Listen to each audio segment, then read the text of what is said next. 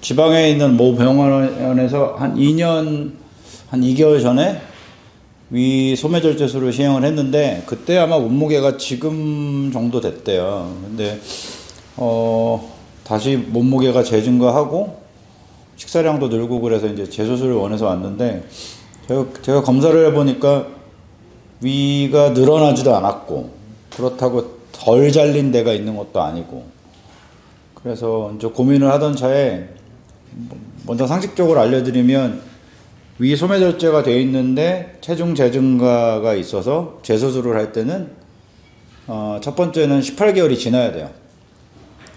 1년 6개월이 지난 뒤에 다시 급여 기준이 될 때 수술을 하는 거거든요. 그래서 그거를 하나 기억을 해주시고, 근데 위절제가 되어 있을 때 재수술을 하는 방법은 어, 만약에 늘어나 있는 위, 우리가 제가 예전에 위 저부라 그래서 밥 먹으면 이렇게 팽창되는 위 있잖아요. 그렐린이 나오는 위. 그게 절단이 돼 있었는데 늘어나면서 다시 그게 새로 생기는 네오푼두스라고 그러는데 새로운 위 저부가 생기면 그걸 잘라줘야 돼요.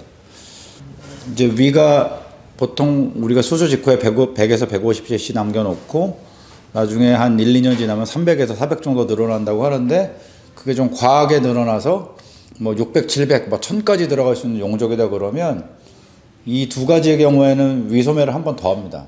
그러니까 재 소매 절제술이라고 그러는데 리슬리브라고 저희가 영, 의학 용어로 표현하는데 이분의 경우는 늘어나지가 않았어요. 그래서 제가 좀 여쭤봤죠. 왜 늘어났다고 생각을 하냐? 수술은 너무 잘 된 것 같은데 하루에 한 8끼 이렇게 드셨대요.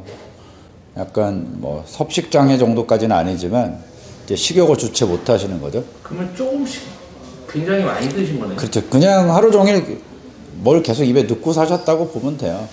그러니까 지금도 위 용적이 얼마 되지도 않는데 한 350, 400 사이인데 그걸로 살이 찔 정도면은 칼로리 하루에 들어갈 칼로리가 이제 충족이 되려면 거의 하루 종일 먹어야 되거든요.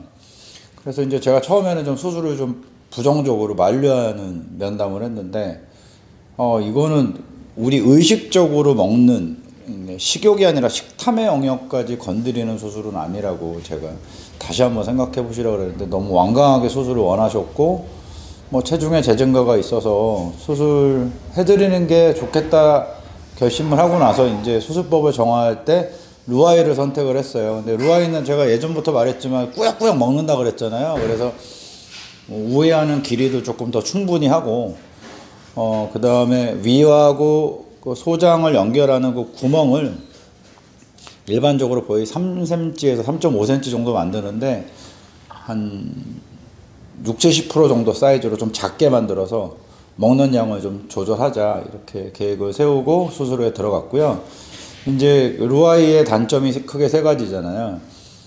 어, 덤핑, 그다음에 위하고 공장 연결한 그 접합부에 궤양이 잘 생긴다는 거, 마지막에 위암에 대한 모니터링이 좀 어렵다는 건데 환자분하고 어, 위암에 대한 모니터링이 어려운 부분에 대해서 논의를 하다가 그러니까 절제 형태, 그러니까 우회하지 않는 아래쪽에 남겨지는 위에 대해서는 그냥 절제하는 걸로 어, 얘기가 돼서 이제 절제형 루아이를 했어요. 그래서 어, 위에서부터 소장, 그러니까 밥이 밥만 지나가는 길은 1m, 그다음에 소화액이 지나 내려오는 길은 1.5m 이상, 그다음에 이게 합쳐지는 이 길이가 어, 저분의 경우는 장 전체적으로 한 8m 됐으니까 어, 뭐한 5에서 6m 정도는 이제 그 합쳐져서 내려가는 길이 형성되어 있는 거거든요. 그래서 걱정입니다. 이 위절제를 했는데도 식욕을 얻지 못한 경우를 루아이를 했을 때 이게 성공적일 것이냐. 결국에 관리의 문제 같아요. 저분도 얘기 들어보면 수술하고 나서 병원을 잘 안 가고 또 체중이 다시 느니까 또 부끄러워서 주치의한테 말도 못하고 이랬던 것 같거든요.